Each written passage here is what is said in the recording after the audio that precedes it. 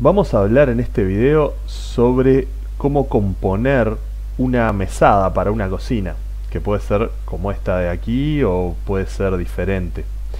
Lo primero que hay que tener en cuenta es que tenemos que categorizar correctamente esa mesada.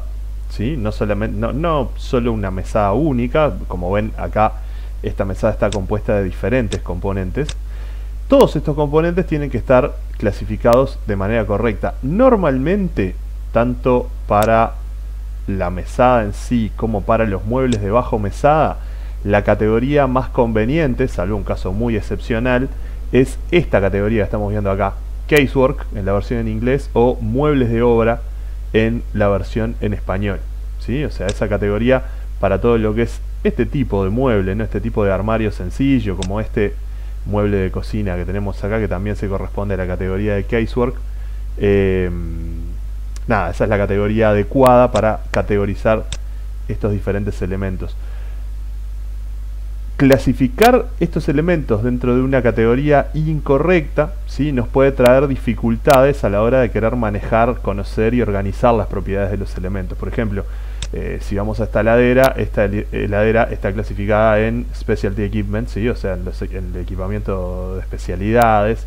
Eh, tenemos por acá esta cama que es parte de los elementos de equipamiento, furniture. Y si vamos al resto de los elementos que componen este modelo, nos va a pasar algo similar. Esto también forma parte de la categoría furniture, al igual que las sillas. Por acá tenemos un sillón que también forma parte de esa categoría. Y normalmente nos conviene poder diferenciar estos componentes de las demás categorías y de otras que eh, no tenemos dentro de este modelo, dentro de esta vista por lo menos. ¿sí?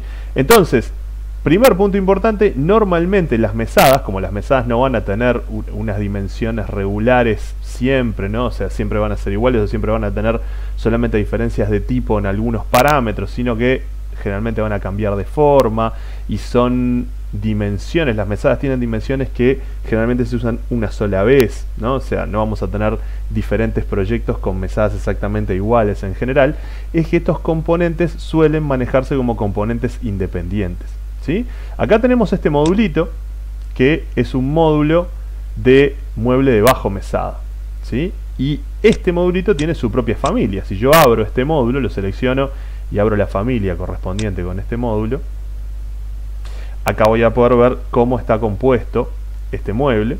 ¿sí? Voy a poder ver cuáles son los parámetros, por ejemplo, que tiene definidos. ¿sí?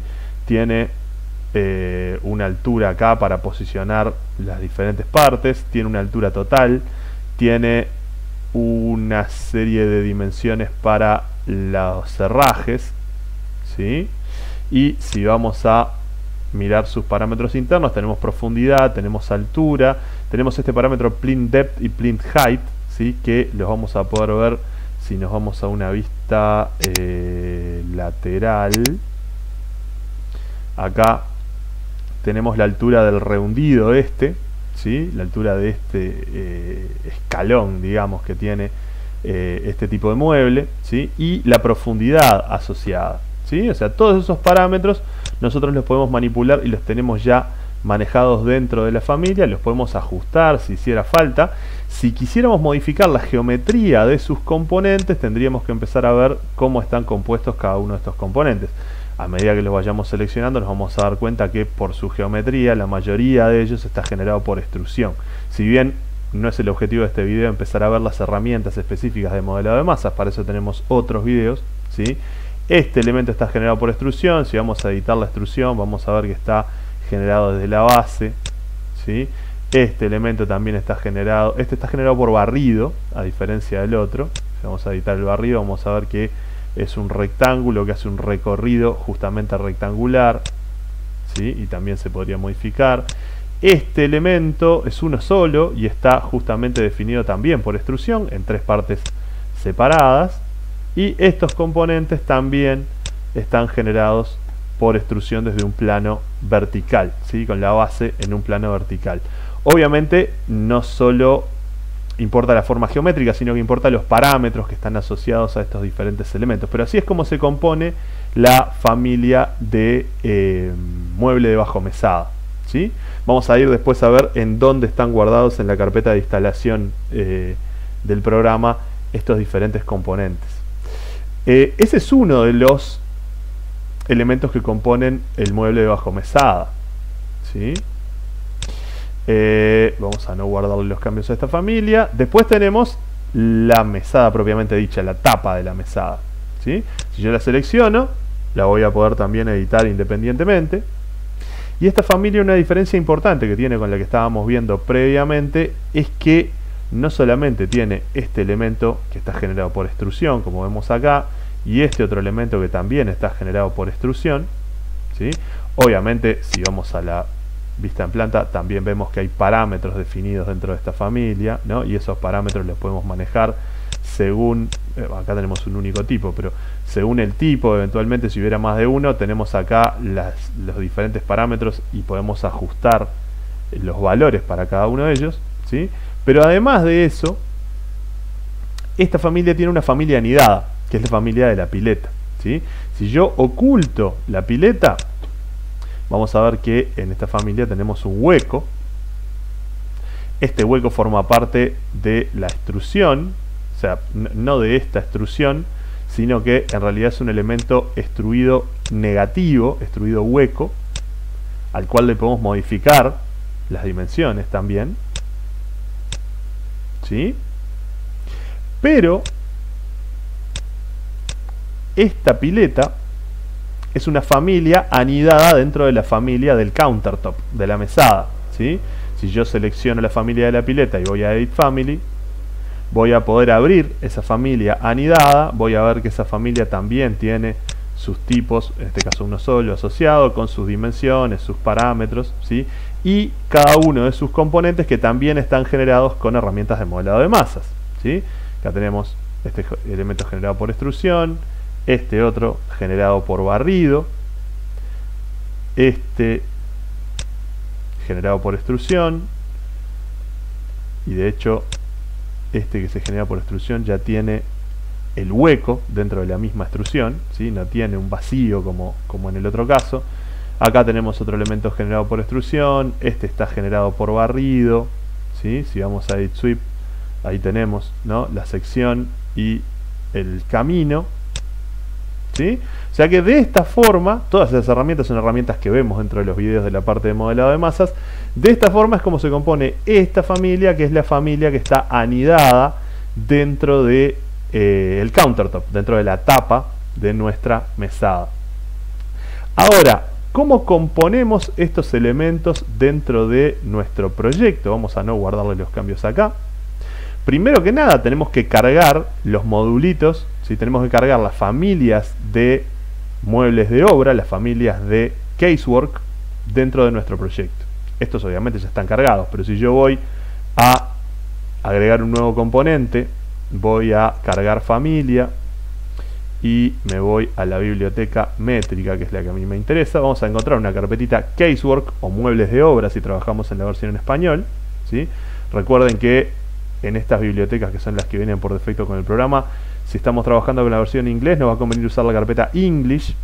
Pero si estamos trabajando con la versión en español, la carpeta que es recomendable que instalen, ¿sí? la, la biblioteca que es recomendable que instalen, no es la que se llama Spanish, sino que es la que se llama Spanish INTL, que es una biblioteca más completa que esta, en donde hay muy pocas cosas. En English, ¿sí? vamos a encontrar ya una cantidad interesante de familias clasificadas por sus correspondientes categorías. Dentro de Casework tenemos los Base Cabinets, ¿sí? que son justamente los muebles de bajo mesada. Tenemos los countertops, que son estas tapas. ¿sí? Tenemos los tall cabinets, que son este tipo de placar, ¿sí? este tipo de, de, mueble vertical. Y tenemos los wall cabinets, que son los muebles aéreos, los que van sostenidos en la pared, como estos ejemplos que estamos viendo acá. ¿sí? Si vamos a los base cabinets, vamos a ver que tenemos varios tipos, varios eh, módulos distintos que podríamos incorporar. Vamos, por ejemplo, a incorporar este grande. Eh, lo voy a seleccionar, le voy a dar a abrir y lo voy a insertar, lo voy a rotar con la barra espaciadora para que me quede orientado al frente, lo voy a insertar por acá. Eh, después lo voy a copiar, pero por ahora voy a dejar solamente ese. Ahí tengo mi primer eh, módulo de Base Cabinet, ¿sí? de mueble de bajo mesada. Si yo fuera a insertar un eh, mueble aéreo, hago lo mismo, voy a Component, Load Family, me voy a los Wall Cabinets y elijo uno que pueda tener sentido dentro de este proyecto. Vamos a darle por ejemplo a este. Y ahí lo voy a poder poner en cualquier lugar. Acá le estoy poniendo en una altura medio aleatoria. ¿sí? De todas maneras, esa altura yo la voy a poder controlar desde aquí. ¿sí? La altura de esa instancia, acá está 1.60, lo voy a poner yo que sé a 1.80. Si no me va a quedar muy alto. Ahí no, está en altura razonable. ¿sí? Ahí tengo ese mueble aéreo, queda un poco descolgado, pero en definitiva acá la intención es simplemente demostrar eh, cómo manipular estos elementos. Algo similar se puede hacer con los tall cabinets que andan por acá. ¿Sí? Vamos a copiar este mueble, para eso me voy a ir a la vista de planta. ¿Sí? A la vista de planta baja, acá tengo la vista en planta del mueble, que es bastante esquemática. ¿Sí? Incluso cambiando el nivel de detalle, ¿sí? voy a ver que la vista de estos muebles por defecto es bastante esquemática. ¿sí? Eh, y lo voy a copiar, voy a hacer dos copias, así que lo voy a activar acá la copia múltiple. Lo voy a copiar así y así. Ahí tengo ese trío de, de base cabinets. Yo puedo acá incluir una tapa que podría ser esta misma, ¿sí? o podría cargarme una diferente. Si quisiera cargarme una diferente, otra vez lo mismo. Voy a Component, Load Family, me meto dentro de los countertops y acá voy a tener diferentes countertops para elegir. Hay algunos que son en L, ¿sí? hay otros que no tienen incluida la pileta y podemos eh, incorporarle una diferente. En este caso yo lo que voy a hacer simplemente es eh, volver a insertar esta misma, este mismo elemento, pero estando en planta. Voy a ir a planta baja, voy a ir a component, voy a buscar el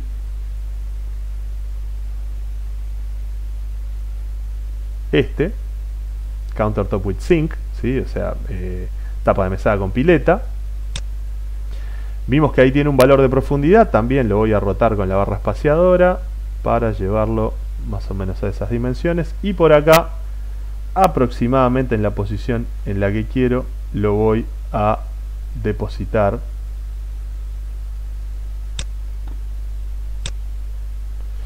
de la misma forma que lo que voy a hacer, lo que generalmente vamos a querer hacer es que este zócalo quede perfectamente alineado con la línea posterior de los muebles, ¿sí? así que vamos a ir a la herramienta de alinear, vamos a alinear con esto, ¿sí?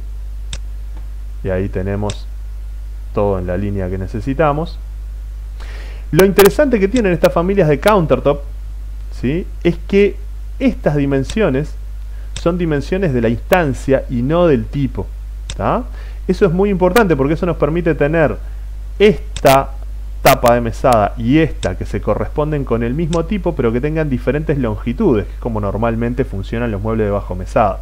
¿sí? O sea, yo si tengo dos mesadas con pileta, probablemente no van a tener las dos las mismas dimensiones y no por eso en este caso tendrían que ser tipos distintos. ¿sí? Así que simplemente para cambiar la longitud total, lo único que tengo que hacer es arrastrar estos manejadores hasta llevarlos a la posición que me interese. Podría usar también la herramienta de alinear, pero creo que es un poco más intuitivo hacerlo de esta manera. ¿sí? Entonces ahí lo que hice fue hacer coincidir ¿sí? la tapa de la mesada con las dimensiones de los modulitos que puse en la, en la, en la parte inferior. ¿sí?